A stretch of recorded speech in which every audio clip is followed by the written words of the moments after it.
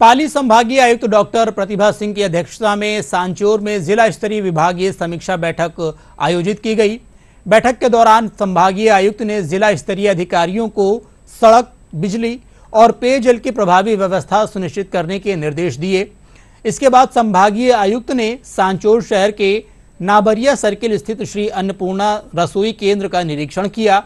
इस दौरान सिंह ने रसोई में कार्यरत कार्मिकों को भोजन की गुणवत्ता बनाए रखने के लिए और साफ़ सफ़ाई का विशेष ध्यान रखने के निर्देश दिए।